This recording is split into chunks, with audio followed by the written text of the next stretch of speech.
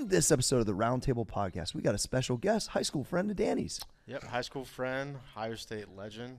You're gonna learn all, about- all about confidence today. Yeah, it kind of looks like Cole's older brother. Yeah, basically, uh, you know, first team all neck, but yeah, having a Buckeye legend, dude. If you're a Buckeye fan, like, and just a businessman in general, like, you're gonna fucking love this episode.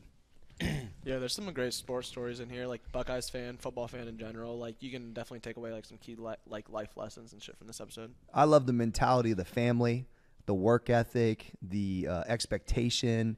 I think that there's a ton of takeaways, uh, all aspects for the show. Let's go to the show. Roundtable Podcast. I'm your boy Corey G. Small Arms, Danny at Trey Speed, and the graphic gangster himself, Cole Susek. Brought to you by MaxEffortMuscle.com and Sam Adams. We got Zach Boren, Ohio State legend, in the house today, and very successful businessman. Shit, I look on my bank account every month here at MaxEffortMuscle.com and see Boren Brothers. Bang, hit me because I got the trash can out there, killer. appreciate it, man. And the You know? brand, hey, hey, you know, branding on the outside of it, the whole nine, bro. Uh, first off, I, if I'm gonna pay a trash man, I'm Yeah. paying this man.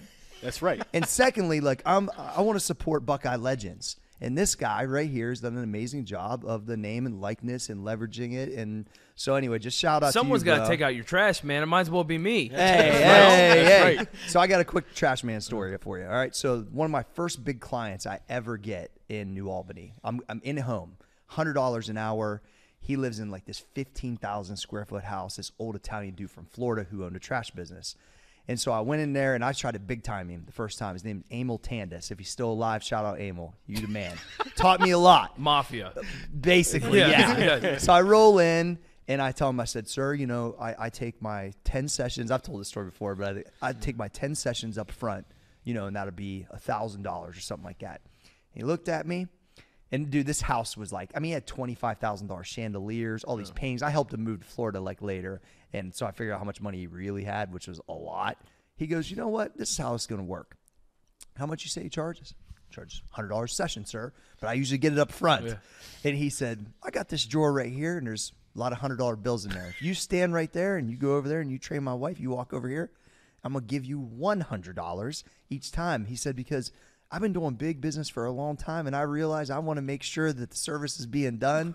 And then I was like, and then I was like, what'd you do? He's like, yeah, I took out the trash. You know, even we're sitting in this like twelve thousand square foot house, one of the first that was in Wexner's property. Yeah. I mean, big baller, dude. But he said that um, you know, his business was similar size. I know kind of what around what your numbers are, and he just did it for a really long time. His money was crazy, bro. He had carpet in his garage. He wanted to put his slippers on when he pulled the S5 in. Oh my He was a next level cat, bro. So I'm just saying, like, there's a. a Dude, that is real life mafia. that's right what I'm saying. Oh You my need God. carpet in your garage, That's the Lord. only time I've ever heard that. I've never. Only time. I was so tripped out. I've I'd never heard this story. All right, yeah. So I never been in an S six. I've never been in an S class before, right? So he's like, "Hey, you want to go out to lunch?" I'm like, "Yeah, dude." He pulls out the S six hundred. It's like gunmetal gray, oh. gangster as fuck. I get in this thing, and it must have been already out of the garage because I didn't. I didn't see the carpet game at first, and then so we go out, and he got TV screens and the whole thing. He was like real into all that stuff, but he's like 80 at this point. We get home, he opens up the garage, pulls that bitch in, and it's got like plush carpet on it. So I'm thinking to myself like. What's this for? Yeah, yeah, exactly. so I go, raining out? I go, Abel. I get, well, he just replaces it. He goes, I go, you, you got like high end carpet in your garage. He goes, you know what? Just figured out a long time ago. When I pull in, I just want to get out and put my slippers on. and I was like, I- my oh mind was blown. Multiple. I was like, this is what I I want my life to be like. Fucking levels right there. So yeah. levels. And literally, so I think everyone listening has a picture in their mind of what this guy looks like. You know, everyone's Yeah, like, yeah, yep, that's it. big Italian dude, slick Yeah. back, white hair, gangster. Is bro. he wearing like a fucking robe too in this situation or what? I mean, he could have done what he could have walked around with his wang out. I mean, Was the fuck, when carpet you- purple or red? Carpet? No, it was like it was almost like a like an off white Oh, too. That's what didn't even make Oh, any sense. oh, it was like that. That and he, he wore a presidential rollie. It's the first time I ever saw one of those. His shit was iced out like a rapper. we went to fucking Wendy's one time, and he went to um, he was like, you know, can I? He ordered a burger or whatever, and he went to get it, and the person at the window was like, "Is that a presidential?" He looked at me like, "I didn't even think anybody knew what this was." I'm like. Dude, he looked like a rap star. I'm like, of course they know what that is. Yeah. Anyway, so my that's my only other he was 80 guy. and his wife was 50. Bro, fat. Yeah. I'm telling you. So there you go. That's what you got to live up to, Boren. That's great. God. No, I know Cole. We wanted we wanted to ask um, some football stuff out the gate, Yeah. right? Obviously, that's where we want to start. That I, I we didn't get to a lot of business last time we saw you, which was a couple years ago. Yeah, yeah. But I got a lot of questions there. But I'll let you go. ahead Well, go. first off, I think it needs to be mentioned that Small Arms Danny actually was the you were you were blocking for this guy, right? High. Yeah, at one point. Yeah, goal, yeah. line, goal line. Yeah. Yeah. were you were you an O lineman? Dude, it was me. For Boren? It was Yeah. me. Yes. Well, that too, but like. Yes. Dude, he was no lineman for me. That's amazing. Yes. That's amazing. what was epic was on goal line. It was me, Boren, and fucking Blaine in the backfield. Oh, Blaine. In the backfield? in the back. Yeah. Oh wow. Blaine's Yeah. a 500 pound front squatter. Oh no doubt. Yeah. I mean, dude, we had like an 800 pound backfield. Yeah.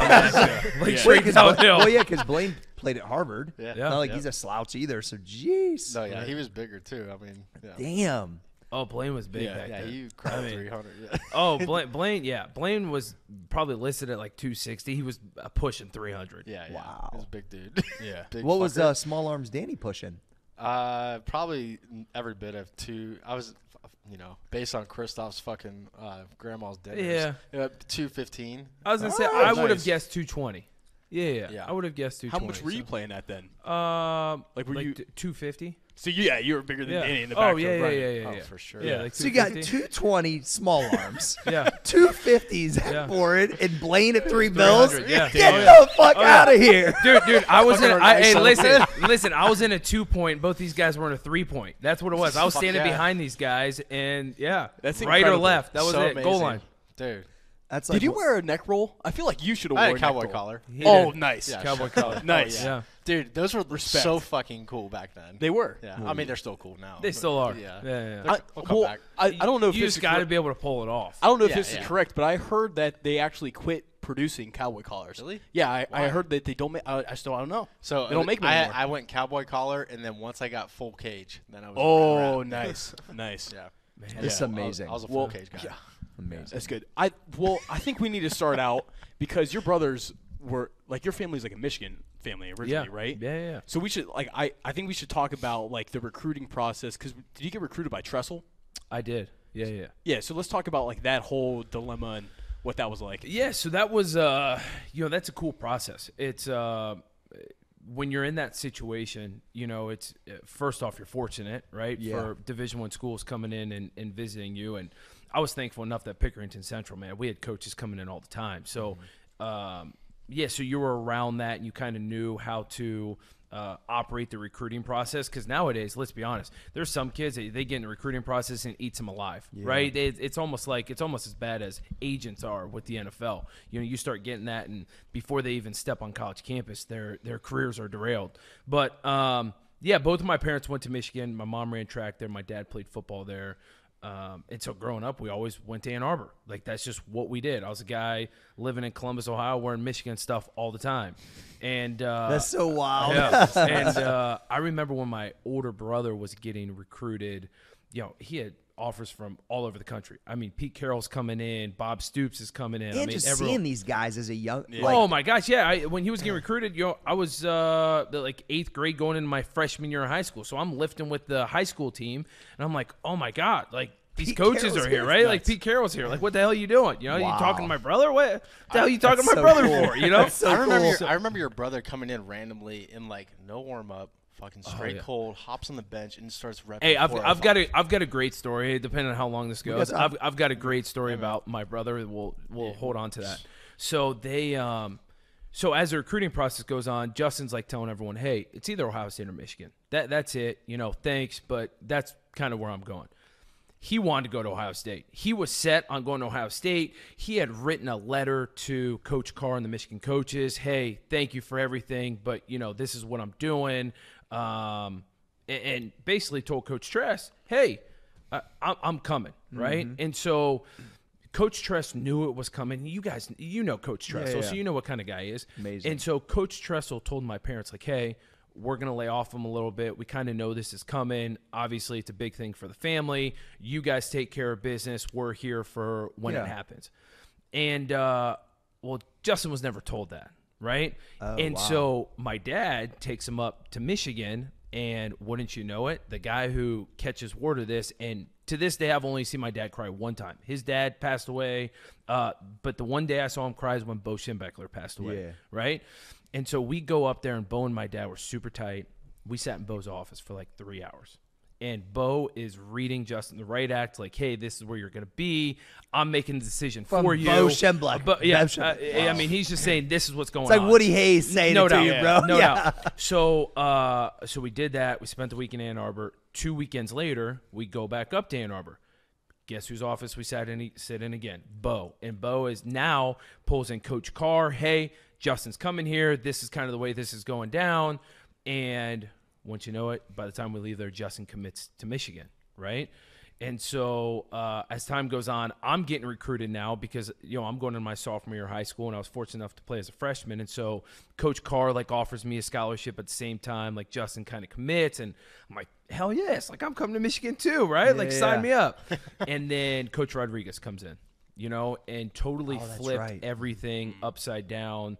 Uh, Oh, he sure did. no doubt. So Yeah. I was, you know, I was a junior in high school then, and so like I'm in the thick of things, and it kind of goes back to the same thing. Like, hey, I'm going, I'm committed to Michigan. You know, Ohio State was recruiting me, Penn State, Michigan State, but really it was like, hey, I'm going to Michigan. Once Justin transferred and goes to Ohio State, I'm like, well. I, I, I can't really go in Michigan anymore, you know. And, and Coach Rodriguez was doing some crazy thing with like recruiting. He's like, "Hey, I want my guys. You know, I'm reevaluating it, reevaluating everyone." I'm like, "Okay, I respect it." Well, at that point, I'm like, "Hey, this is a done deal." You know, Coach Fickell, Coach Tress have been recruiting me. Kind of some of the stories that come up about Coach Tressel and them laying off had finally come to light, and I'm like, "Man, it, it's home." You know, Col- Yeah. Columbus, Ohio is where I've always been. Ohio State's a great college. Um, I mean, obviously, it's one of the best universities in the world. For you sure. know, so uh, ended up committing to Ohio State, and kind of the rest is history from that standpoint. But it it's a whirlwind of a process, but it's really cool to go through because there are so many ups and downs, and there's so many different feelings. And um, this is a funny story. The day I committed, actually, so I knew it was kind of coming. Uh, it was during baseball season. Danny and I played baseball together too, and uh, Shout out small. Shout out. yeah, there you go.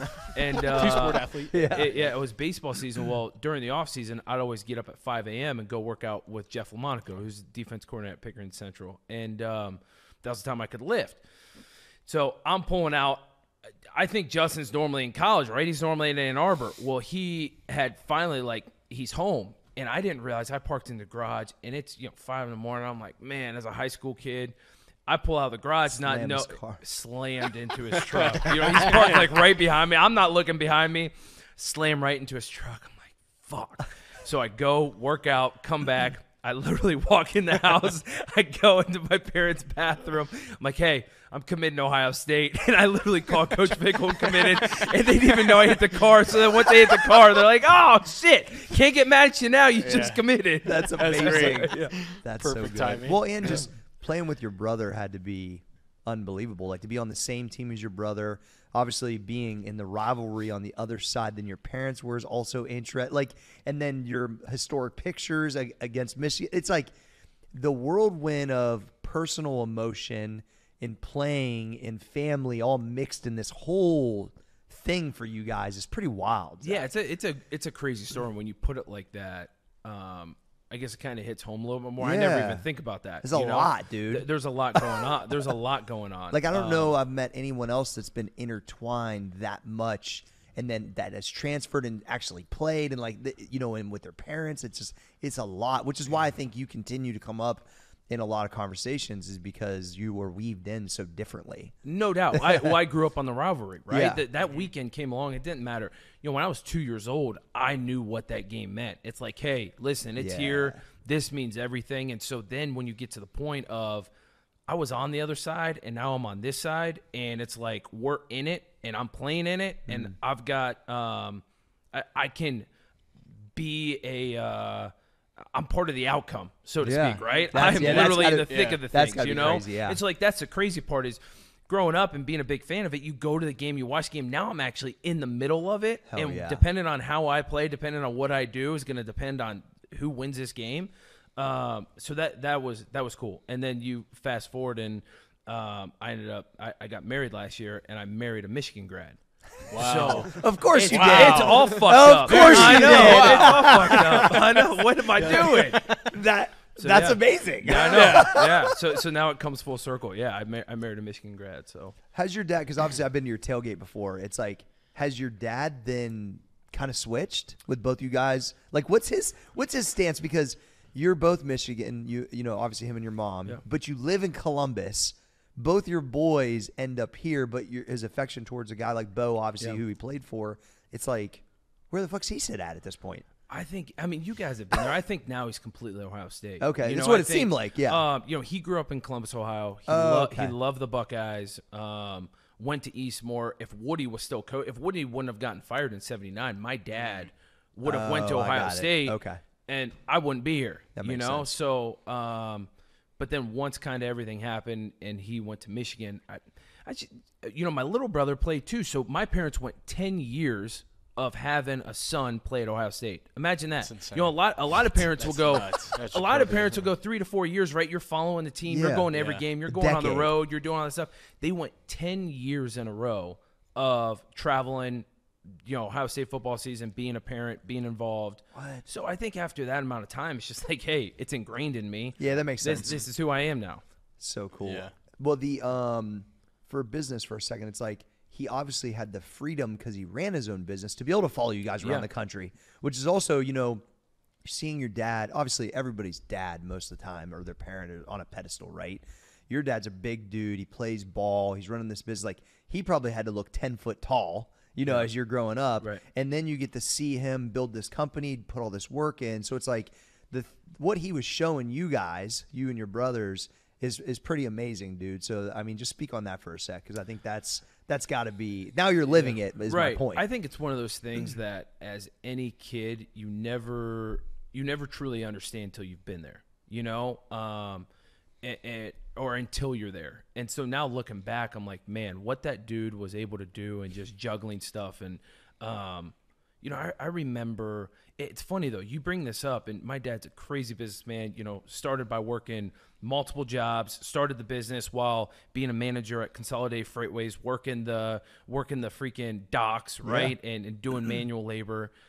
And then he's kind of grown it to this, but even when we were playing for so long, he used to always I mean, he used to always say, I'd give my left nut to be where you're at. And we always be like, dude, like stop, man. Yeah, like yeah, yeah. you're just the old man. You know, Yeah. you just wish you had He was uh, dead serious, though. Dead serious, but you never really take it seriously until you're in this spot, right? And now I'm in my I'm in this position.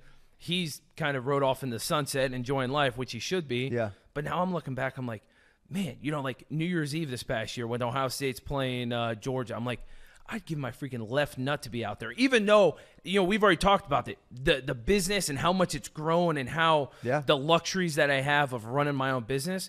It goes back to man, I would do anything to be there. I think that's why we train in the gym every day, Yes. right? Because it's like you never mm-hmm. want to lose. You never want to lose it, whatever it is, and it can be so many things for so many people. Yes. You never want to lose it, and it's hard to, you know. And I think with football, it's taken out. it- It's out of your control. Yeah, yeah, yeah. Well, I think that's why a lot of ex players really fuck with like what we got going on in the in the morning because we still got a team, we're still pushing, and the it for us is still competing in powerlifting, right? And so even though I'm still able to do it, it's you know I'm ban- I'm I'm in my Tom Brady years, so No I'm doubt. putting it together. But the reality is, I thought I used to think about this all the time. All right, somebody comes and bought everything out, did whatever. What would I do still on Wednesday? Still come here and try to get my squat going up, bro. 100%. You know what I mean? So like I, I think that you get that realization when you really love something and you're passionate about it, and then you can identify with what your old man was saying is like that feeling doesn't really go nowhere if you really got it, bro. Yeah. And so that's and that's the intangible I think to all of it, it reality. there's always something out there that I think um, is bigger than just your day to day. Yeah. You know, there's there's always something that that pushes you, that wakes you up every morning and says, "Hey, let's go do this thing." You know, and and the people that lose that fire, lose that thing inside of them to say, "Hey, I'm gonna get out of bed, put my feet on the ground, and go." That's when you start having issues. Yeah, you know, and I think um, that's why, and I think maybe we talked about this last time. I think that's why so many guys, after they get done playing ball, Yeah. have such an issue because they're trying to find out who they are. You know, and that it that has always um, That's always been there, right? I'm putting my feet on the ground. I'm going to the gym because, and I'm going to throw on my pads. You know, when when spring ball comes, when fall camp comes, when the season comes, they lost it. You know, and so it's so hard for them to mentally prepare. So thank God for the business. Thank God for my dad. Yeah. And, you know, it, t- it kind of comes full circle that if it weren't for him, who knows? I might be one of those guys that I'm still trying to find out what that it is. Yeah, yeah, yeah. Well, yeah, and I often wonder there's going to be a time where I can't do that anymore. Not anytime soon, hopefully. Right. But I think that I would have. That's going to be. My wife always says you're going to be grouchy when you can't lift heavy, because I have points of time where if I'm banged up, I can't do it. Mm-hmm. Drives me fucking crazy. So I couldn't imagine if, like, obviously at a, a football level, you're done it sooner than later than most, and it's like, what's the average in the NFL? Three, I maybe. even think it's you know what I three mean? now. Yeah. I think it's less. You so know, with all the guys coming in every year, so it's like that would be an, a, really really tough transition. Which is why when when there is players around here, I try to be like, because I know that that camaraderie is what they're missing. You know what I mean? And that pop. hundred percent. So that's why I'm trying to get you here from spin class. I'm just fucking know, with you. Hey, hey man, you know I, I do need to get out here sometimes, but you know, spin is spin is my it. You know, Yeah, that's there what you gets it going. Yeah. Zach, you done put plenty of time in the squat rack. kid. Yeah. you're oh, good. Well, I was gonna say like, what is that drive for you, or like what do, like now? What is the, like what keeps you coming back to the well? I think it's a mixture of the business standpoint, right? Knowing that, uh, seeing what my dad did, and now that I'm my, in my position, I want to, you know, who knows? Hopefully, my wife, you, you've, you have kids now, right? Hopefully, my wife and I are are fortunate enough to be able to have kids, but. When I have kids, I want to be able to do things that my dad did. I want to be able yeah. to get up and go. I want to be able to uh, give my kids things that even I didn't have. And I, my dad busted his ass, but we weren't to the point where we are now from when I was He growing was up. building Right, it. He was building it, you know, and so I want to continue building it. I saw what he did, so that's kind of my it. Is hey, he passed the baton on. You know, it's a it's like a relay race. When, when you're running a, a four by one, the guy in the first, the guy in the second leg, guess what? He wants to run a, a faster split than the guy in the first, right? So it's Yeah. like I'm doing my job now to to to kind of carry the business. Mm-hmm. And then obviously, man, when you own a business and you give it your all and you are growing something and you're building a culture at work and you're doing all the small things, in the long run it's going to it's going to pay off. Look, I mean, dude, look where you're at, right? From where you were to where you are now. I guarantee you there's things that you can provide for your family. Oh, yeah. There's certain things that you're able to do. I, I've seen you sailing in the middle of the Caribbean with your shirt off, right? There was probably a point you couldn't do that. No. You know, and so now you're able to do those things and it's just you know, I, I don't want to say it's uh, shallow of me thinking like those are the cool things you get to do, but that's just that's the reality Life's of life. about experiences, bro. No doubt. Well, I would say like it was funny. Me and Dustin were just talking about this yesterday. That was like a for me when I was little. Uh, I never I never went on vacation, and we never saw I never saw the ocean until spring break when I met my wife actually at Panama City when I was in college. I had I'm never sure it was a great trip. amazing. I didn't know I was finding my wife, but I did. You know what I'm saying? Shout out But Rachel. yeah, shout out Rachel. still, still, we You still married a kicking it. Rachel? Yeah, you All have a right. Rachel too. I have a Rachel. Yeah, man, There that's you good. Something about Rachel. Something about Rachel uh, from uh, Friends. Yeah. so anyway, it was like Fuck out of here. My wife's named after Rachel from Friends. I think Really? most of Wow. them are, buddy. Yes. Yeah. Uh, I think Boom's wife's name's Rachel too. I think so. Yeah, yeah, yeah. I think you're right. So it's one of those things where I think, you know, you're really you're looking at the next generation, how you progress it. Like you said, your dad was building it a lot of these times, but still had the freedom to be there, right? Your hope to have kids soon, so it's like you want to have that same freedom, and that was a lot of my stuff was based around my parents really couldn't make it to nothing because they didn't have that freedom, which is another reason why I wanted to be an entrepreneur so bad because I can be the assistant rec basketball coach if I want to be, Yep. and I got the time to. You know what I mean? So it's like that stuff is like carried a lot of value in me building the business, and there's there's really no dollar figure attached to it. A hundred percent. There is no. But you your know, kids will ne- like you never forgot that he did that. Correct. Never. It, it's the experiences. You just brought it up, Yeah. right? It's knowing that my dad was there, even though Danny will tell you at PYA, sometimes he's yelling at me Oh, across sure. the field, right? He looks intense. Oh yeah, he's that guy. But still, if he wasn't there, I wouldn't be who I am Yeah. now. You know, and it doesn't matter if I've got uh, sons, daughters, whatever it might be. I, I just want to be there for them, whether it be at a dance recital or football. I mean, I hope it's football, but you know, Yeah, yeah. Well, be really- soccer. Well, Cool. yeah. So obviously we we talked about you know, you you've learned like leadership wise, like you know, business and sports, they there are a lot of similarities, a lot of parallels. But you got to learn from your dad running the business and probably two of the best coaches in college football history, in Jim Tressel and Urban Meyer. So what are like the, the what are the things that you've taken away from those guys and implemented in running the business? Um, yeah, I got into this um, with Peters when Okay. when him and I did a little bit of one of his pods, and you know, I went to college and got a sports management degree. I always thought I was gonna be the guy that whenever I got done playing, I was gonna put on a suit and tie, live in the big city, work in the front office of a pro organization, and uh, work my way up to be a GM. That is like what I wanted Okay. to do. Um, and so, you know, when I was in college, or actually when I got out of college and, you know, went off to the NFL, got fired a bunch of times and come back, and my dad is literally like, hey, here's a business. Uh, at that point, there was multiple business, but here's one of the businesses you're running it. Th- this is what it is. I'm like, man, I, I don't know what to do. Like It was like one. It was only like one or two trash cans, Oh, though, right? yeah, I mean, yeah, it was one truck and like nine dumpsters, right? Yeah. It was one truck and nine dumpsters. I'm just trying to give some context. yeah, yeah. yeah. It was one truck and nine dumpsters. And he I don't want to take away from what you built. Eh, well, That- thank you. yeah, but so he literally, I remember him looking at me is like, "You can't fuck this up. You can't. Like, Figure like, the dude, fuck Yeah, out. Yeah, like, dude, you can't fuck it up. You could do what, make whatever mistake you want. There's nothing you can fuck up right now. Like, we've got a couple thousand bucks in this thing, right? Yeah. And as a side project, so um, I'm like, all right, well, at that point. I pulled out a Yellow Pages, or my dad gave me a Yellow Pages book, and he goes, "Start calling restoration companies, start calling remodelers, start calling all these people." And I'm like, "Okay." So what it did was it took me back to Tressel and Urban Days, right? Like how did they uh, get the message across to us from being the head man to say, "Hey, this is what I want you guys to believe in. This is what I. This is how I want you to execute it." So then I'm starting to think like, okay, so now I go into sales mode. What pitch am I going to give these people to motivate them to come with us? But then on the back end, how am I going to motivate the one driver that I have in order to be there right on time, in order to do those little things that uh, set yourself apart from the competition.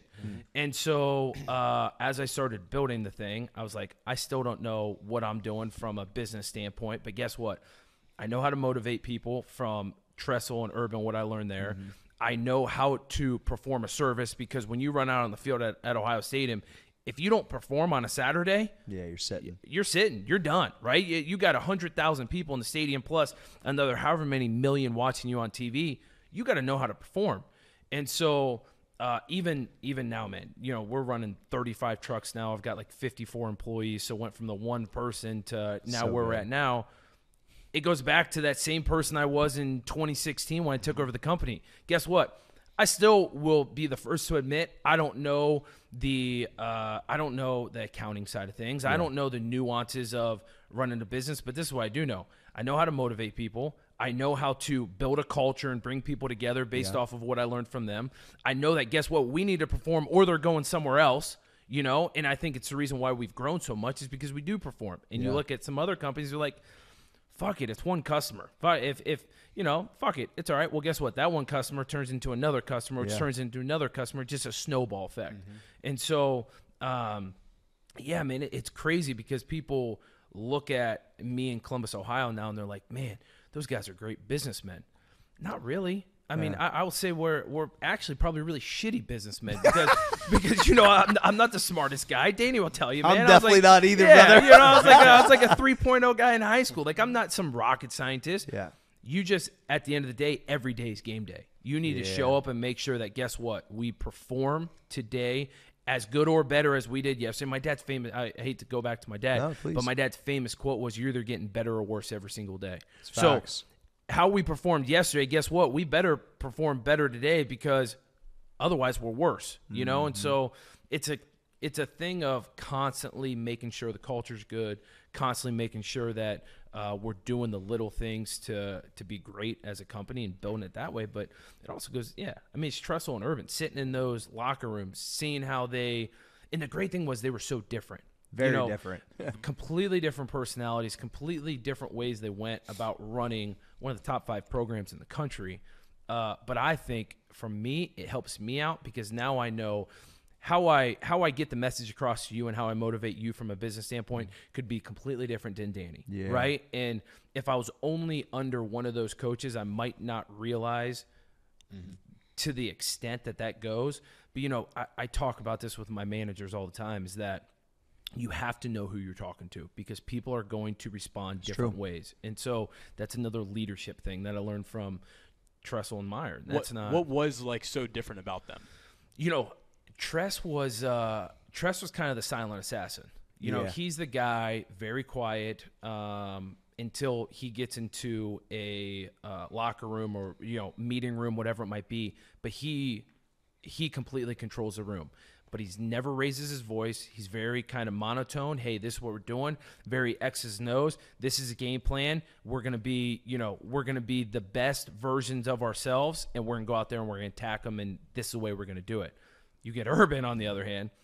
Urban will go in there and it's like guns a blazing, right? Yeah. He's like, I don't give a fuck how we do it. We're gonna win this game. And guess what? While you're kicking their ass, I'm gonna be kicking the coach's ass. And it's just like it's it, they- they're completely different motivators, but motivate people the the the same way. My comment about I've been around both, of- mostly Tressel, but I was around Urban a couple times, and then I'll throw it to Trey because he ain't talk very much. But is they're both extremely confident, but completely different, and that is what's unique about like Tressel is like he's super humble, but he is a killer though too, Yep. and that's when you're around him, you can feel it. And you can feel it on Urban. Maybe it's a little bit more. Urban feels more rock star to me. I don't know why he always Yeah. did. And Tressel feels more senator, but the right. Yeah, but but the accurate. confidence is just as elite, mm-hmm. but it's so different. And if you can get a mix of those, that coaching style and that vibe, that's what I thought was interesting. Because I was only around Urban one concentrated time, but he walks in the room and it just it's just the it factor, right? But Tressel feels the same way, but different. So it is. Tressel feels more approachable, to be honest. Hundred percent. I'm know. super close with uh well, well, super close with Urban, but still pretty close with Tress. But Yeah. you're exactly right. Tress is the approachable.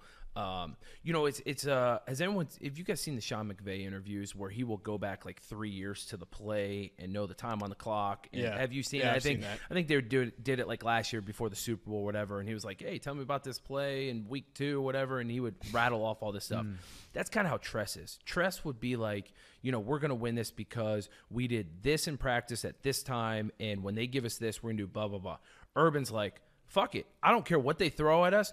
We've trained so hard, and we are just soldiers, and we're gonna go out there and we find a way to win. That's the way it's gonna be. So it's like it, like you said, it's more senator and polished with Tress, Yeah. whereas an urban is like rock star. I don't give a fuck who we're going up against. I don't care if the if the Pro Bowl team walked out there. Guess We what? We got this. We got this. We're gonna find a way Yeah. to win this game. I just saw a clip from Urban actually randomly on TikTok before I came in, and he he was saying like, he, I want to evaluate practice. It wasn't good enough today. It wasn't good enough today, but I think we all know what that. Like he just, I think he, it sounded like he was always reminding people there's more. Oh, there's yeah. more. There's Yeah. more, and I think we all need reminded of that very often. Hundred percent. Like if we had a bad practice, Tress would be like, afterwards would be like, hey, why do we have a bad practice? Let, let's think about this. Let's actually put our thinking caps on and let's take a deep dive into this. If we're having bad practice with Urban, Urban blows the whistle, pulls everyone up, basically says, "Hey, fuck this. We're starting. Pra- hey, we're starting practice over. You got a choice. Guess what? You you can either turn this back on and we're starting practice over, or guess what? We'll just keep on running this thing Running back, We'll be- gassers. and we'll be here till midnight. I don't care. So you whi- know? which side, what style do you kind of vibe with more? Where are you on the Uh, spectrum there?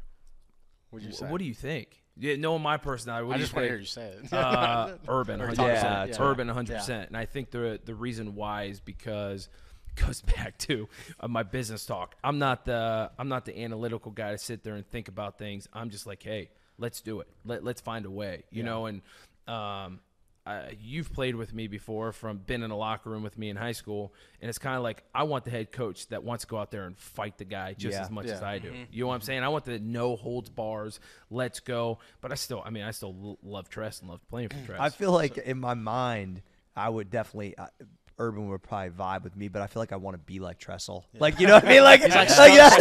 that- Yeah. that's he Yeah. feels stoic to Yeah. me, but but I feel Yes. like I would. I'm the type of guy. I'm a rah rah dude, so I want fucking screamed at and challenged. I want to be Tress off the field and Yeah, Urban yeah, there you field, go. You know, yeah, Yeah. I Yeah, like it. So, like, hold on, real quick. you're with good. like, with like confidence, like how you even like think about the word when we when you say confidence. Like, I mean, I remember like you coming over from North to Central, and the first, pra- I think it was probably the first practice or one of the first practices, in the field house or something like that. And like you can tell when like someone has like a certain level of like self confidence about them just by how they walk around and carry themselves. Like how how do you kind of think about um, or how did you build the confidence over the years? Is that something you learned from your family, your dad, or is there anyone that you kind of look to or any resources?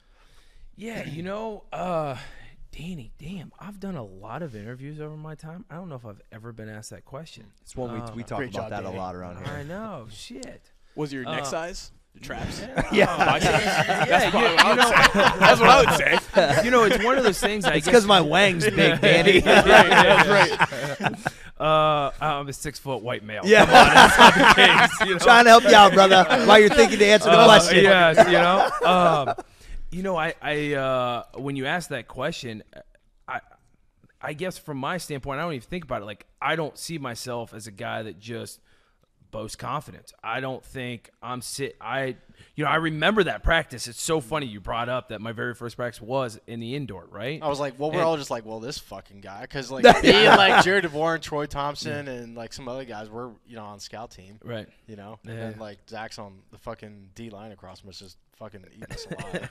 I'm sure. But uh, yeah, no, I, I think it's uh, you just, I think once you kind of accept who you are, and um, that I, don't want to use the word confidence because you asked me how you get that confidence, but once you kind of know who you are and you trust yourself and you put in the work in the off season and you do the things when no one's watching. That was a quote that everyone brought up is what are you doing when no one's watching? You know, I think if you do the right things and live your life the right way, you're going to have a confidence about yourself. You know, and there's dude, there's been times where I think everyone lacks confidence. Everyone gets into those the yeah, those ruts where you're like, "Man, and you almost know it. You're having self-talks like, "What are you doing? Like this is not you." And so we've all been there. And mm-hmm. you know, I think in that situation, it, it was such a whirlwind of a uh, transfer. I, I don't want to say transformation, but it was a transfer, right, from north to central. It's like rivals in the middle of the year,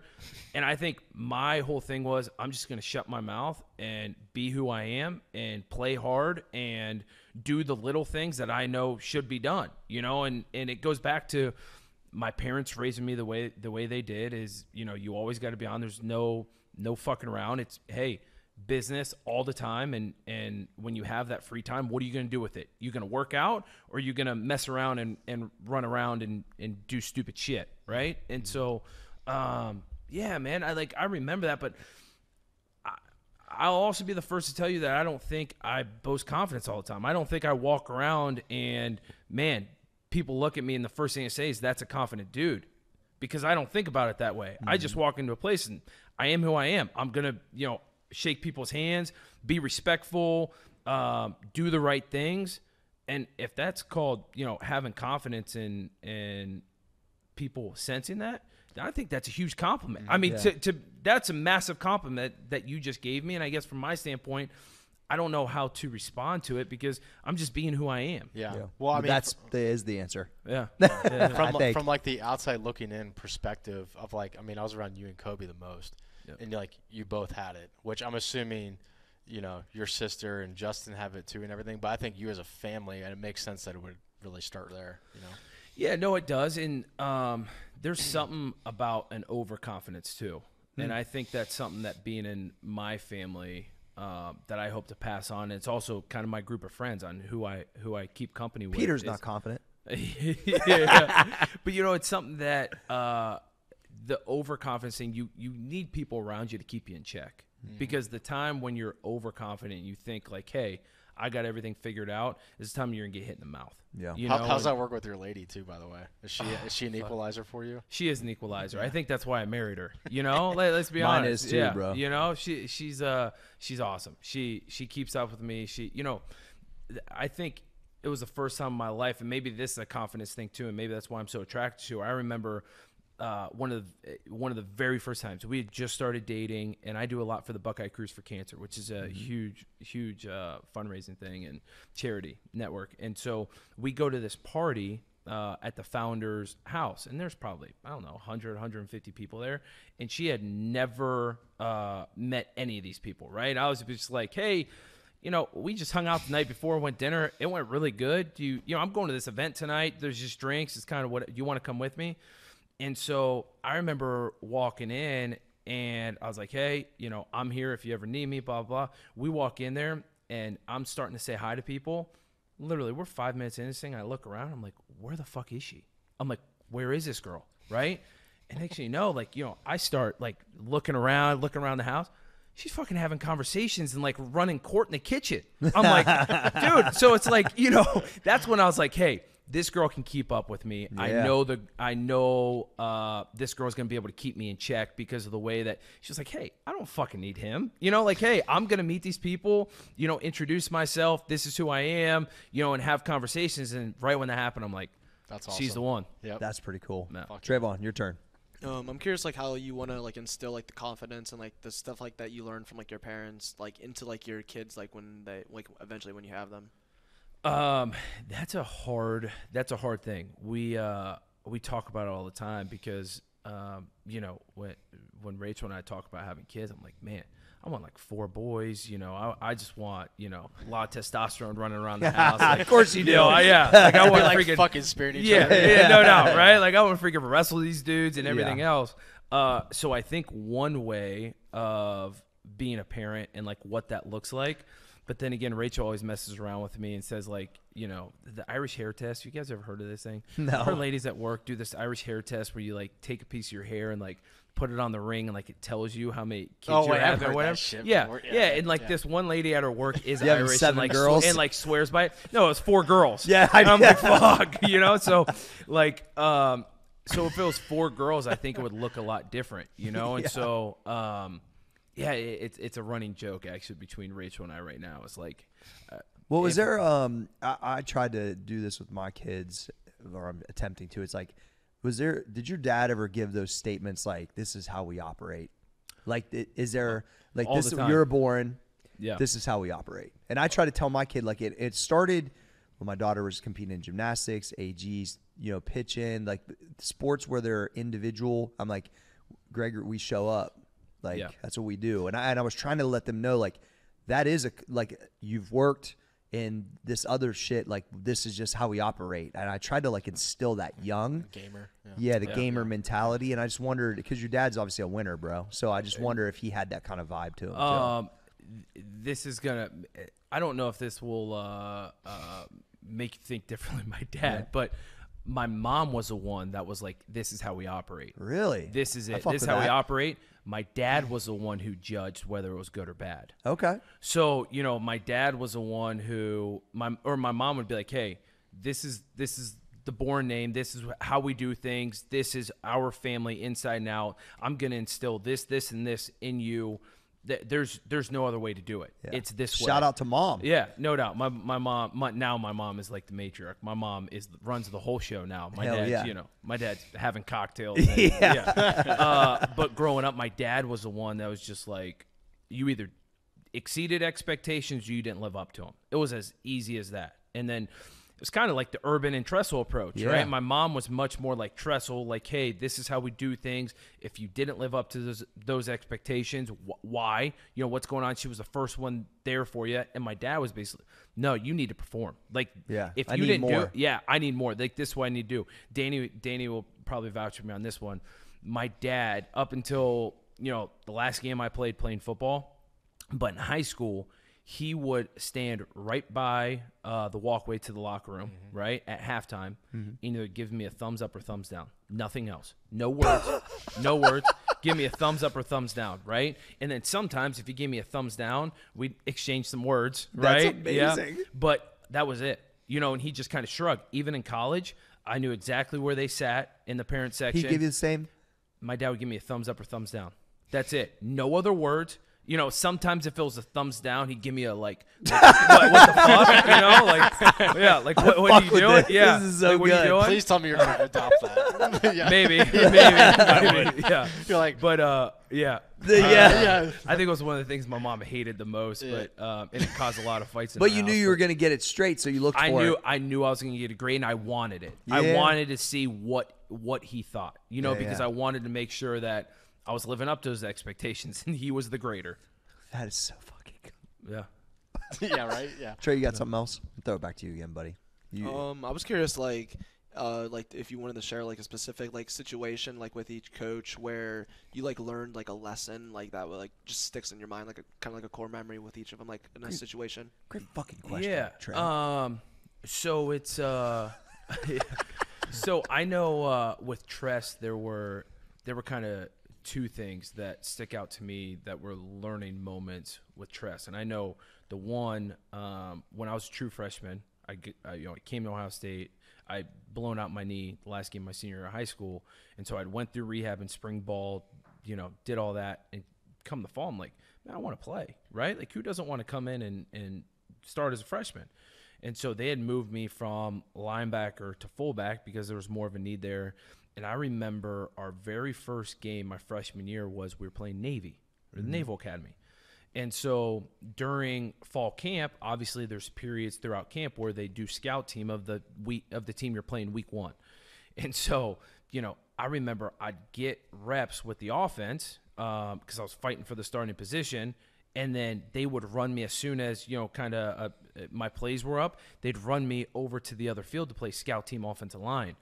And so, you know, I'm getting in a four, awesome. I'm getting a four point stance as an offensive guard right at 250, 255, Yeah. because that's what Navy Academy guys are. That's true. And dude, I'm going against Cam Heyward. I'm going against all Who's a these dudes. beast, by Oh, beast, One of right? my favorite players. Yeah. So I'm going against these guys. I remember there was just uh, at at some point there's just kind of a, a, a light that goes on, right? Like, hey, this is what I need to do. And I remember I had put a couple really good practices together, and then finally I'm like, hey, fuck it, man. I that confidence. I'm like, I'm I got this. So man, I would like try and ball out on offense, right? When it was the first team offense that was going, run across to the other field. I was like, I'm just gonna, I'm gonna be these guys' biggest fucking headache in the entire world, right? So I, I'd get in a four point stance and I would just go after these dudes, like up until the whistle, like man, and you know those guys, first team defense They're linemen and all Big Ten guys, like dude, what the fuck you doing? Like get off, and dude, I was just like that gnat that like wouldn't go away. And finally, like one time, uh, I, I may have hit Cam a little a little late, right? and uh, just giving all my hell, just wrestling, you know, going like crazy. Tress comes up and grabs me, and he never like whatever. He goes, "Get your ass over there," and like threw me towards the offense. And I never saw another down to scout team offense ever again. So like that was it. So at that point, Over-delivery, yeah, baby. Yeah. So at that point, I'm like, yes. And then uh, I remember Tress Tress and I were tight. You know, he ran a fullback offense. I think no one really uh, appreciates the fullback, but Tress was that guy, like old school guy. Like Yeah, he just yeah. he gets I it. do. Who, Yeah, who was ahead of you at that time, Zach? who were you Uh, fighting against? So uh, I was fighting against Adam Homan and a guy named uh, George. Uh, oh my God, is it Secretus or something like that? I was just trying to remember. Yeah. Yeah, okay. Um, uh, wh- whatever his name, I'm totally drawing a blank on his name. Could have come back another year, but ended up just retiring from football. The fullback right before me. Dionte Johnson, is who Yeah, probably yeah. you're thinking of, but he was gone in I think 07, like Got two it. years before I got there. but Tress, um, Tress, like fullback, that was like. Oh yeah, yeah, yeah, like that. You know, that was like, hey man, I appreciate you. Like my offense kind of goes around the fullback, Yeah. which isn't really like that. So appreciate you. But I remember um, my sophomore year, we're playing Michigan, right? And uh, this was like Tress's, I think, like thank you to me. I remember, you know, we're playing Michigan, we're kind of beating their ass, and it's I don't know, middle of the third quarter, and it's like a third and one, and we're deep in our own territory, and uh, we're, there was a timeout, and we're going on the field, and Tress calls like fullback dive. And never, never gives the ball a fullback. If it, you know, I, I'm like, but I remember he calls the play in like the huddle before we're running out, and then grabs me when everyone's running out and looks at me and goes, "Don't fumble the football." Oh, Thanks, coach. oh man! All right, so I, I didn't, I didn't good. fumble, but I think it was just his way of like, "Hey, man." I, I got you one. You know, Yeah, like yeah. thank you, Sure. thank you. Just m- make sure I don't regret my decision. so You you get the first down? Uh, I did get a first down. Nice. Yeah, yeah, yeah, I did get a first You, down. So you get up and like flex or anything? no, no, no, no. Handed the ball to the official. I made Ni- sure that ball was not seen anywhere close. Most of the guys that played for him, though, it sounds like, and Maurice used to talk about this, like moments like that, like when he was against Washington, the first couple series didn't go very good, and Tress said, "Look, you got to do something this series, Yep. or I, I, I'm going to have to take you out." And that's when he broke the touchdown, and it's kind of Yeah. the rest is history. It sounds like Tress would give you a heads up, like For sure, he would. It goes back to that coaching leadership style of like, he'd get in your ass, but it was such a subtle way Yeah. that it kind of was like, okay. Whereas an Urban, I mean, he'd lay into you right on the side. I mean, you guys have seen it. He's throwing the headset. Tress was never like that, and he never wanted anyone else to know. So like those little moments, he'd kind of grab you, and it was like a real subtle. It didn't raise his voice, nothing. It was just like to the point. This is it, and you kind of at that point you're like, I know I got to perform. You know, I know this is my spot, and I can't let him down. Exactly. there it it was is more right so there. that right. Like Yeah. I didn't want to let him down. Whereas in Urban, you didn't want to fail. You were scared to fail. You know, and and and Tress was like, I could fail because I know he's gonna pick me back up. But in those little moments, you just didn't want to let him down. Yeah. Um, Both and then- very strong emotions. very much Yeah. so. Very much so. And then Urban, man. Mm, you know, uh, there's a there's a bunch of stuff with Urban. So Urban, you know, I was with Herbs for uh, 11 months. You know, from January th- through November. And there's so many stories. I mean, he's got books written about that year and just how him and I would bang heads. You know, uh, a, a lot. But I, I'll go with like the very the very first and the very last experience I have of him is I remember um, we had just gotten beat by Florida in the Gator Bowl, and um, you know I, I'm not even undressed in the locker room. Everyone's pissed off. We had the first losing season in 100 years of Ohio State football. Think about that. Ohio State Yeah. football, first losing season in 100 years. And You're that was like, his first year. no, no, no, no, no. That was my junior year. Okay. so he, yeah, but yeah. he was appointed coach in December, I got but it, hadn't really, you know, it was fixed year. Yeah. And so, um, Urban called. My phone's going off. It's Urban in the locker room. I'm not even undressed yet, and he's like, gather everyone together. He goes, let them know 5 a.m. team meeting tomorrow. And normally after a bowl game, like that's one of your breaks. I, th- I think as a player, you got like four breaks. You got one right after the bowl game, one for spring break, uh, one for like a maybe only three, and then like a summer break right before fall camp. That may have been your only your only three breaks. So you're saying right? you just got done with the bowl game. You're No. not even undressed yet. no, I'm in the locker room. And Urban Meyer's calling, calling you, me. Yeah, saying yeah. team meeting tomorrow at five. No doubt, because as soon as that clock, fucking hey, love that As, energy. as soon as that clock hit zero, Yeah. Herbs took over. That's right. Right. Okay, so okay. the clock's Yeah. at zero on the on the on the And on he's the calling clock. you. and he's like, "Hey, I'm the fucking head coach of Ohio State now. This is this is my show, right?" So yeah, so he's- so he's calling me, and he's like, "Get the guys together. We're having a team meeting tomorrow morning." So we show up, and um, there were like eight guys who didn't show, right? And so he looked at us. It goes back to running the practice thing says a couple things for about 10 minutes says this isn't how we this isn't how we operate um, everyone better be here and the guys that aren't here you guys better fucking tell them they better be here so he's like we're gonna run this back 5 a.m meeting tomorrow The next day. the next day Okay. right? so have 5 a.m team meeting three guys didn't show up he's like oh okay i see how this is so has a meeting um, says at that point it was probably like a thursday and he's like uh, monday we're to be out there 5 a.m on the outdoor fields and he goes if you guys don't want to buy in we'll get you to buy in so we go out to 5 a.m fields and the entire facility's locked. The Woody Hayes is locked. Like they won't let us in. So we have to walk around the parking lot to the outside, and we get there and we're wearing all of Ohio, all of our Ohio State stuff. You know, you're just wearing your sweats and stuff. Makes us turn it inside out. If you were showing up in that jacket, he'd say flip it inside out. They're like, what the fuck? He's like, you guys don't deserve to be Ohio State football players. You got to earn your right. And so we flip everything out, right? flip everything inside out. Are the guys looking at each other like, Like kind of like what the fuck? Like, You know, yeah, yeah, like, I'm what- sure. going- you know, I think the first day everyone's kind of like, all right, dude, like really? Yeah, You know, yeah, like, like, dude, we had just gotten our ass beat. Like we've had a long year, like no break at all. Like really, you're making us do this. And so, uh, do we get? I remember this vivid. We get in lines of uh, there were ten across, right? Ten across the goal line, and like nine deep at that point, right? Like ninety guys. And so I'm right in the middle, uh, the front front front line or first person line right in the middle, you know. And uh, we start doing like bear crawls and scalded dogs and army crawls and lunges and all kinds of stuff. And so you're going as the first person, you go 100 yards, everyone follows you, right? And it's like every five yards they blow the whistle, next person goes.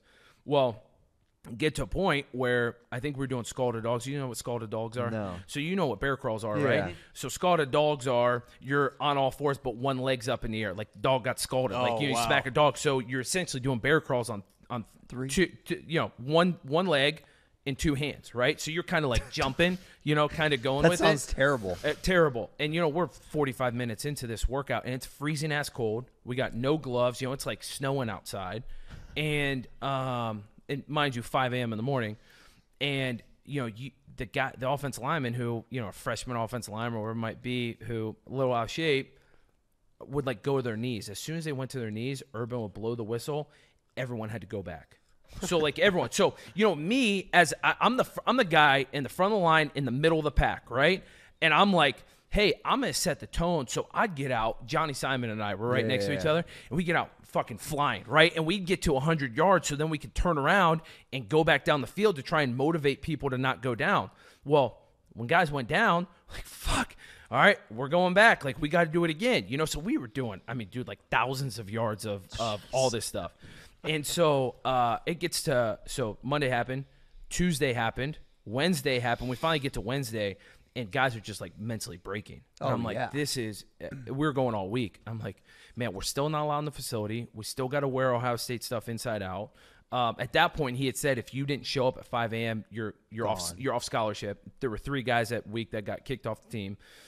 But we get to like Wednesday, and we're you know we're like 45 minutes in. And at this point, I don't. I'm sure. I mean, you guys train hard. You get to that point where you're like, I'm just, I'm mentally in a fog, right? Like I am just, I'm so zoned Yeah, in. zoned I'm in. so zoned in that I really don't know what else is going on.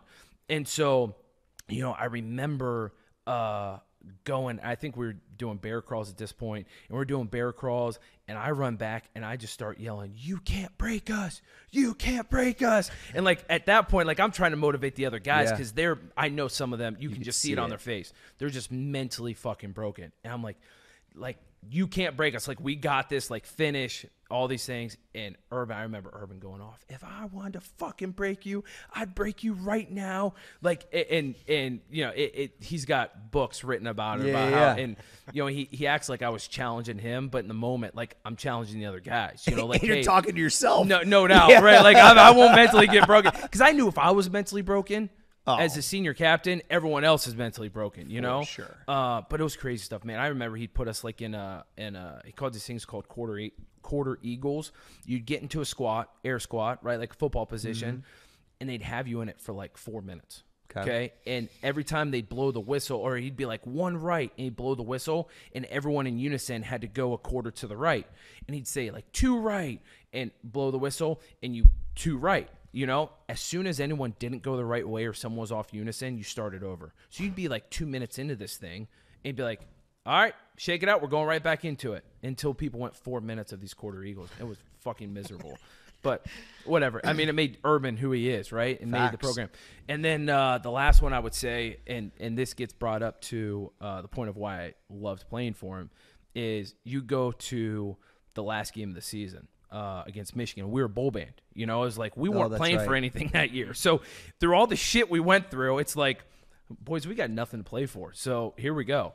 And we were 11 and 0. And I remember, uh, you know, it was kind of snowing that morning. It was cold ass morning, and we get to our pregame meal. You know, and he normally would always uh, address the team before we go up and like put on our suits and then before we head out for the walk and this it just felt different you know obviously it's a michigan ohio state Yeah. game and it was urban's first one he had never he grew up in ohio but had never been in the game and he starts going off about uh, kind of the training throughout the year and how everything comes back to the military. And he's like, you know, we've been 11 strong. He used to always say 11 strong because there's 11 units, position mm-hmm. groups. He goes, we're 11 units strong. And he goes, you know, we've been busting down these doors one by one. And he started rattling off like week one, who we played, week two, who we played. And every time like he would rattle off a team, he would like get like angrier and angrier. And then finally he's like, We know these motherfuckers are sitting behind this door. He goes, We've had open doors this entire no one's behind any of these doors. And he goes, This is the last fucking door we're gonna open. And he takes tables and fucking flips it, sends it flying. I'm here And- for it. yeah. Yeah. And he's like, These motherfuckers are behind this door. What are we gonna do about it? It just Did like, you guys light the fuck up? Oh, dude, I think every table in there was like flipped. yeah, yeah. Oh, dude, That's yeah. fucking awesome. Yeah, but you know, it goes back to uh, you know that year we went 12 and 0. But it was just like we weren't we weren't skilled. He'll tell you it was the worst team he's probably ever coached from a Yeah, skill yeah. standpoint. We just you know you look at the NFL, we have we have some dudes, but just as a team standpoint, top to bottom, by all means, his least talented team. There's just no way we we're gonna lose. You know, it was yeah. like we wanted to go out there and get in a fist fight. That was the only way we were gonna win games. Yeah, yeah, yeah. I love that. I, th- I think one thing like we need to hit on is being the ultimate team player. Can you talk about the conversation you had whenever you jumped from offense to defense, that which led to the Yeah. That's what I iconic was gonna picture? ask Yeah, yeah. So they, um, so throughout that year, you know, how we started off to where we went. Urban and I, as time went on, started getting closer and closer. And uh, yeah, I remember they. He didn't run a fullback, but you know when he came in, I was probably 260, uh, playing fullback at that point. He's like, dude. You need to get to 240. You need to drop 20 pounds this offseason. I got to 240, right? I was just like, this is what I'm to do. And, uh, you know, in spring ball, they were messing around with me, kind of putting me in that wide position and doing some different things on offense. And we get to the season, and hell, they were moving me around, putting me, you know, kind of that wide position that you see now. Put hell, put me at tailback some stuff because they didn't really have boom had just left. Yeah. they didn't really have a tailback. Well, as the season went on, Carlos Hyde started coming on, who Okay. was a dog, a beast, right? And Braxton started taking over games that they're like, hey, you know, they were still trying to find ways to uh, get me the ball and keep me in the game. And they were doing a great job of it, but then our linebackers started going down. And so I remember we were six weeks into the season. We were going to play Indiana. You know, I'm sitting in offensive meetings on Tuesday, and I think Coach or, or Urban and maybe had just been briefed that like one of our starting linebackers had broken his hand and cou- was out for a little while, had to get like pins put in or something, and uh, so he comes over to me in the stretching line at the same position I was. I just told you, right, you know, right in the middle of the goal line, and uh, he's like, "Hey, you're going to linebacker today." I'm like, "All right, yeah, sign me up. Like I'm fucking Fuck in. You yeah. know, like hell yes." Linebacker at Ohio State, yeah, sure. Yeah, like I'm in. You know, but I played linebacker my entire life. Yeah. It goes back. My dad played linebacker. You know, so it's like that's what I grew up on. I'm like, all right, I'm at what, whatever you want. I'm good. And uh, so literally stretching lines happen. We split off. I go with the linebackers, and kind of the rest is history, dude. So that's a Tuesday. I had to learn the defense in about three days. go, yeah, go out to the game against Indiana and start playing. And uh, Were you pumped when you ran out for defense? I mean, was yeah, it I was like, pumped. That was probably the only time I've ever been a little nervous. Yeah. Because you know it, you got to know what you're doing. Yeah. You know, uh, the great thing was still one of my really good buddies now. Ryan Shazier was playing next to me, right? right. So when you've got Ryan Shazier playing next to you, I remember him and Dog. I. Yeah. Yeah. Oh my God. I remember him and I all the time. Like I went out there against Indiana, and I'm like, hey, you know, he'd call a defense. I'd be like, hey, j- remind me, right? He's like this. I'm like, perfect, got it. And uh, the only issue was, I remember we got up on Indiana. Motherfuckers started going two minute. I never learned two minute defense. you never practiced that. I'm like, fuck. I'm looking at the sideline. I look at Ryan. I go, dude, you got to get my back. Just help me, help me. Yo, they're running crossers and going. I'm like, no huddle. I'm like, fuck. That's But amazing. was Who was fun. the other linebacker? So it was you, Ryan. That's and, it. We only played Oh, two yeah, linebackers. that's right. Yeah. So- So, so we then. were playing like that nickel, that nickel Yeah. package. So the iconic, you know, hit, the picture, everything like that. Do you remember that play vividly? Can you give us a breakdown? No, not really. You know, it's one of those things that you're so in the zone. fucking And, you know, and, I- and I've talked about how you were in, uh, you know, the training in the off season. They get you to the point where you're so zoned in, you don't think about anything else. Kind of like everything goes numb, you know. And so, everyone, uh, one of the probably uh, main questions people ask me, "What's it like running into the stadium?" Uh, to be honest, you're so zoned in at that at that point, especially if you're playing. Like, it's just people. It's just a sea of people. Like I didn't think it was any any different than running out to a high school field right down in the ditch at Pickerington Central, and people probably laugh or think that's stupid. But just in that moment, man, you're so focused on the game, just doing your job, you don't think about anything Yeah. else. Until you get removed from it, I feel Yeah, like, right? no- then no you're doubt. like, was there was there any subtle thought like after you flexed fucking right over him that you're like that was pretty fucking sick? No, because I didn't even realize it. In the moment, I didn't realize it. You I know? feel like that's something you figured out after the picture Yeah. started circulating. No, no, no. huh? It was. It was right after the game. So I remember. Uh, I remember it happened, and it was just one of those things. Like, man, our you know the defense needed a, a play to be made. It happened, and then I remember coming off the sideline, and, and at this point, Urban and I, like I said, have a better relationship. He goes, he goes, "You're fucking lucky that wasn't flagged." Like, Yeah, that's true. like, oh, yeah, That I got true. it. I look. I remember looking at him and go, Coach. There was no flag on the field. Hey, say that bitch is on about Yeah. 2,000 dumpsters Yeah, out here now. was it. Yeah. And then I remember we, you know, we left. Uh, I had media afterwards, showered up. I was one of the last guys to leave. But my parents, obviously, had become friends with a lot of the other parents uh, on the team, and uh, they had like a tailgate main area that a bunch of my buddies we'd go to after the game. And uh, I remember showing up to the tailgate, and like my dad had the picture. Someone had texted it to him. yeah. And I'm like, Fuck oh, yeah. all right, yeah, all right, yeah, that's yeah, that's cool. Like I didn't really think anything Yeah. of it, anyways. I was thinking about getting fucked up that night, you know. Yeah, at that point. yeah. Like, hey, I like the truth. yeah, you know, I was like, hey, man, we're Speaking we're, of that, Cole, you got to get it signed. He's got it right over there by Oh, the yeah, way. sure, I. Yeah. Well, all right, hold on. I got one question. I think uh, you know me and Small Arms, you know, as generals of the Arms Army, it'd be a disservice not to get some training talk. So you know, I would consider myself like third team all neck, Yeah. but you're first team all neck. So what's like the best neck exercise? Great Whether question. it's shrugs, Oh, whatever. Man. What, what's your favorite? uh, my neck probably went down a couple inches too from when it was. I mean, I used to have a, a thick Beef- a beef thick, stick oh. Bitch God, like yeah. a fucking rhino over here. Yeah. You know. Um, you want to know something? I loved uh, the old school neck machine. Yeah. I We got one up there. Do Up you? there, yeah. Okay. Love Yeah. the old school neck machine. Go man. I remember. sideways, Oh yeah, like- sideways, the Ford. Um, you know, but I, I also like uh, if you really want to fuck yourself up, do a burnout, going to the sides, and then get someone to do manual on the front Oh, and yeah. Dude, we used to do that shit at Yeah, in practice, at, right? at- Yeah, yeah, yeah. at practice and I stuff. forgot but about that uh, shit. yeah, they really. I learned that one at Ohio State. As So you're they- walking out of the gym, you might have to hit a quick set. I, I that might, before you man. I haven't done it in a while. My, my neck would be we should do a stiff. knowledge bomb. Yeah, that would be Yeah, that would be amazing. perfect. Yeah. So they, uh, yeah, at Ohio State, that's how they fuck us up. Like at the end of a workout, we do probably like 25 to 30 reps each side, and then they'd go and have a strength coach, and you'd be laying on a bench. So literally, you had like, it's not like you were sitting down because some people do it sitting down. You would lay horizontal on the bench with just your neck, uh, kind of the top of your shoulders Yeah. off. And they would just fuck you up, and you're just like straining out your neck. I remember my fucking neck like pulsing, and but yeah, um, we're all homies with Braxton, and obviously Yeah. you saw some crazy athleticism from him. He's a cool dude in general, right? I just like being around Braxton. Talk about maybe like you ever see him do like something where you kind of, I'm sure you did, like be like, damn, that's like just different because I- he is just I'll- I'll t- different. I'll, tell you the one play that always uh, sticks out to me. But yes, in practice, uh, you know Braxton. He's kind of like the the silent assassin, right? For just sure. goes about his business, just does what he does. Yeah, he's low key. Yeah, and uh, you know, Braxton will probably be the first to admit this too. He wasn't the best practice player Yeah. because he'd go and just be like, "Hey, fuck it, I'm going through the mo- uh, motions, right? I'm He's good." gonna ball out on yeah, game day. but there, but there were times in practice when he really wanted to fuck with someone, dude. People couldn't touch him. I mean, the dude just turned something on, and everyone be like, "Oh shit!" But the one that I really remember, uh, and they played on Braxton highlight tapes, was 2012 at Penn State. Okay. Um, you know, they're going into we we were driving. It was kind of a, a tight game.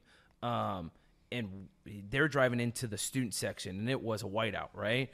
And Carlos Hyde's just making play after play, just chunk plays.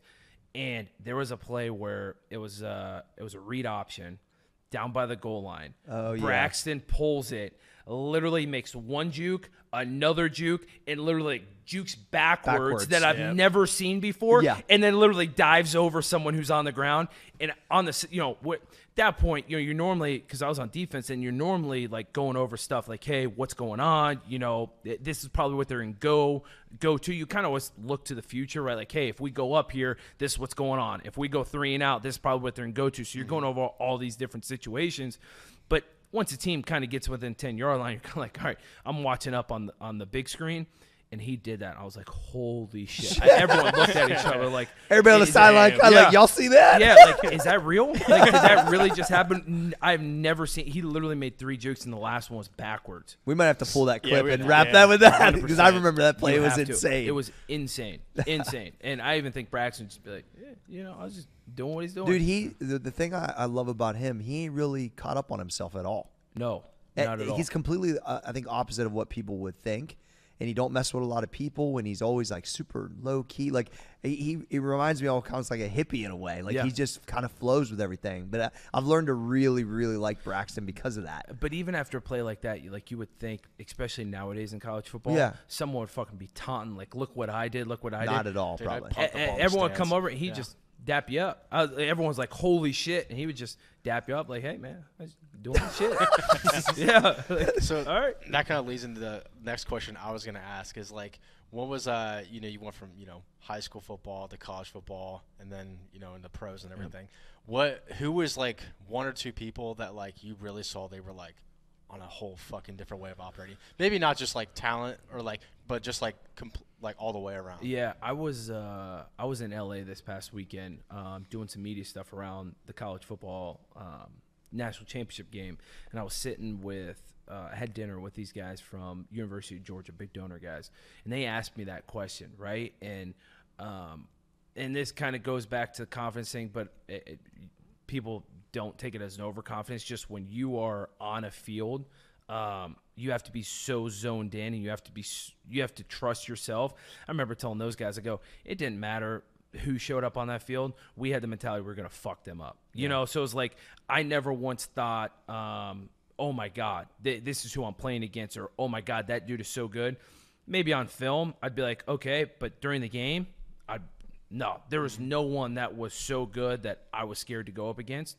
But I will say this, there is one person that I have seen absolutely dominate a game. Um, you know, I've seen some throws that you're just like, oh my god.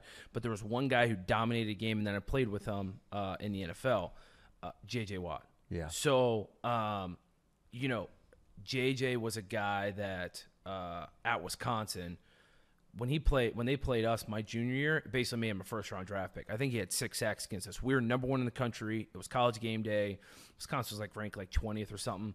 They returned the opening kickoff. The fucking Camp Randall I thought was gonna blow up. Like Yeah. it was. It was They said it's wild. loud there, too. Oh, it's loud. It's loud. And then JJ had like six sacks and just ate our offense tackles alive to the point where like, we, what are we gonna do? You know, and Terrelle, Pro- uh, yeah, Yeah, Ter- TP. Ter- TP was uh, uh, TP was a quarterback, and TP can run from anyone. Yeah. And JJ was just sacking them like crazy.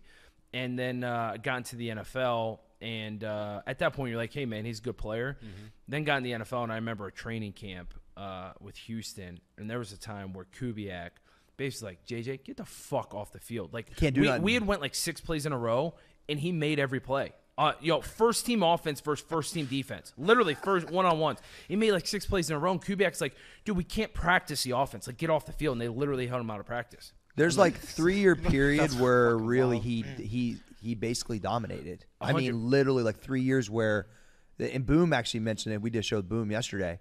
He's like, dude, that's all they talked about in the meetings in Yeah. Indianapolis. How do we? You have to have three guys on him. But like you said, he went like three three to four years where he Total was like domination. unstoppable. Granted, he he fell off. I mean, he's still Yeah, a great player, but yeah, some injuries and everything. But man, his his first three to four years in the league, Insane. unreal. I mean, unreal.